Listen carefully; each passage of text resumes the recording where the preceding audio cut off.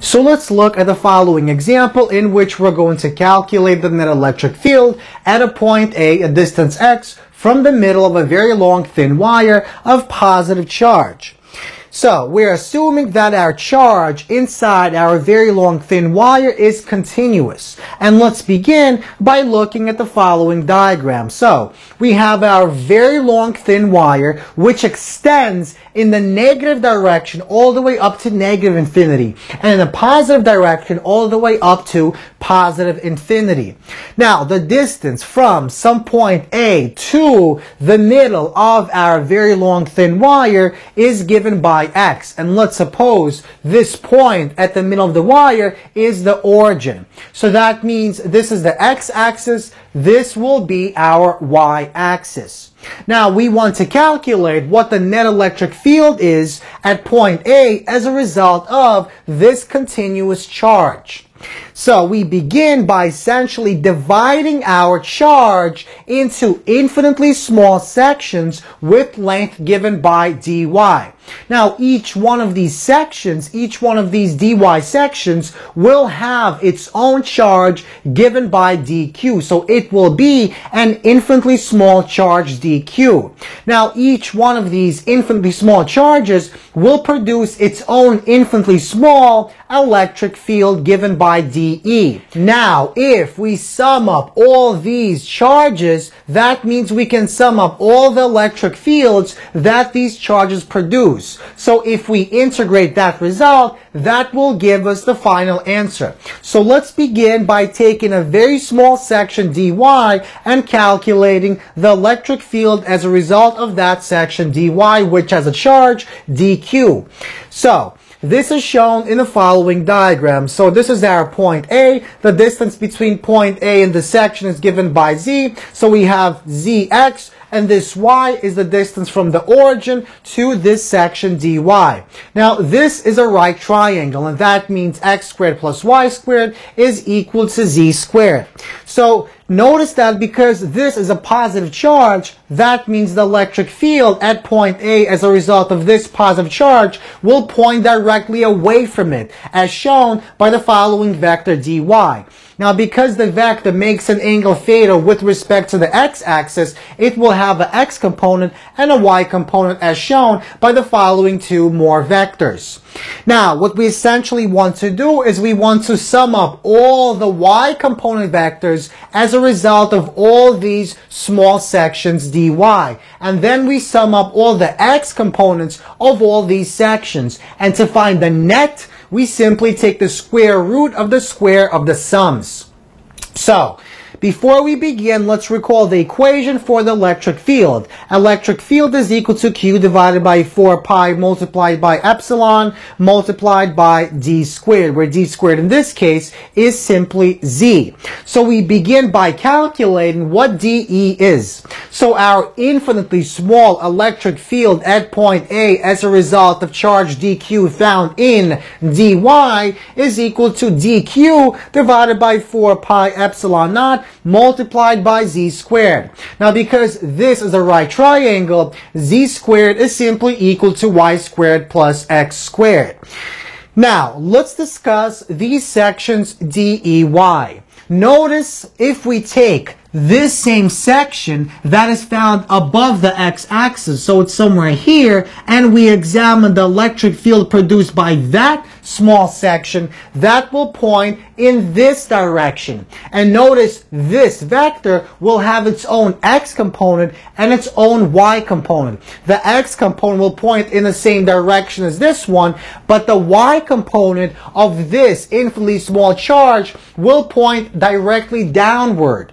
And it will have the same magnitude as this. So the sum of those two will be zero. In fact, by the symmetry of this situation, because the up is the same as the down part below the x-axis, by the symmetry of the setup for all positive DEY below the x-axis, there will be a negative DEY above the x-axis. And we take and when we take the sum of those, that will give us zero. So EY is equal to the integral of DEY, which is equal to zero.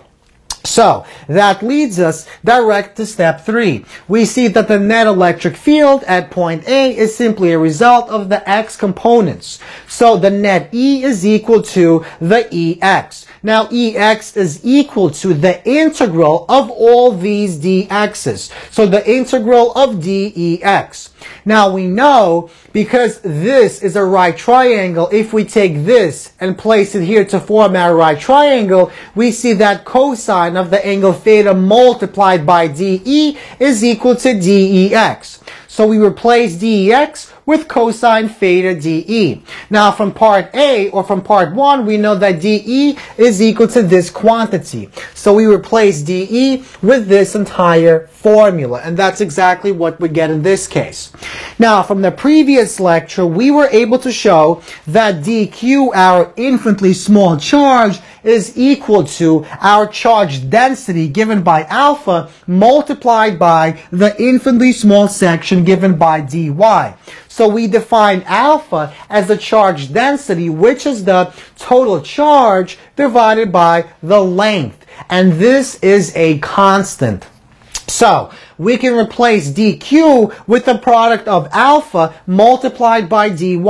And that's exactly what we do in the following section. So let's take this and let's take out some of our constants. So we're taking out alpha and 4 pi epsilon. And we get the following result uh, our, ch our charge density alpha divided by 4 pi epsilon naught. Take the integral of cosine theta multiplied by dy divided by x squared plus y squared.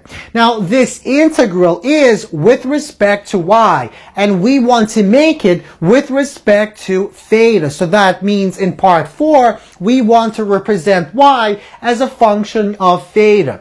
Now by this right triangle we see that y is equal to x multiplied by tangent theta. Now, if we take the derivative of these two sides, if we derive this side with respect to our y and this side with respect to our theta, we get the following result. dy is equal to x multiplied by d theta divided by cosine squared theta. Now, notice the x is simply a constant. The x remains the same.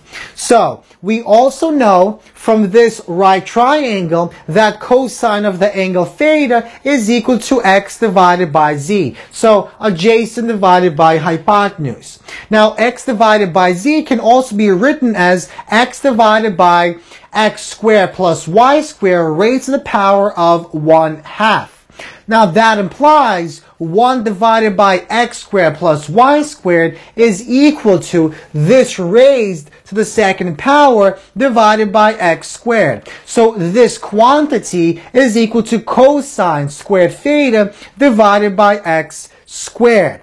So let's go back to this result. From this result, we know that alpha divided by 4 pi epsilon naught multiplied by the integral of this now we know that dy is equal to this quantity and 1 over x squared plus y squared is equal to this quantity. Remember, we want to replace the dy with respect to our d theta. So this becomes, we have cosine theta, this remains multiplied by dy, which is this quantity. So multiplied by x, d theta divided by cosine squared theta.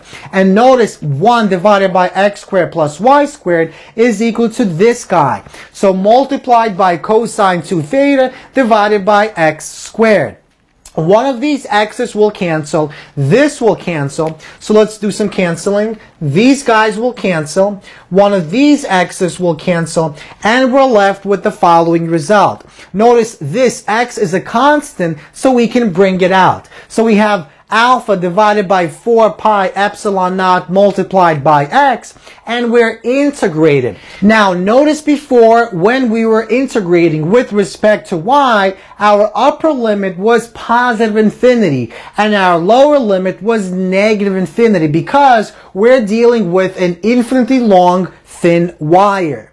So these values in terms of theta correspond to pi divided by 2 and negative pi divided by 2. So we get the following result. we evaluate the following integral, we get this, and we evaluate this, and we get alpha divided by 4 pi epsilon theta multiplied by x, where x is simply this distance, and our alpha is simply the charge density, the total charge divided by our unit length. So this gives us our net electric field at point A, some distance x away from the middle of a very thin long wire with a uniform and continuous charge density.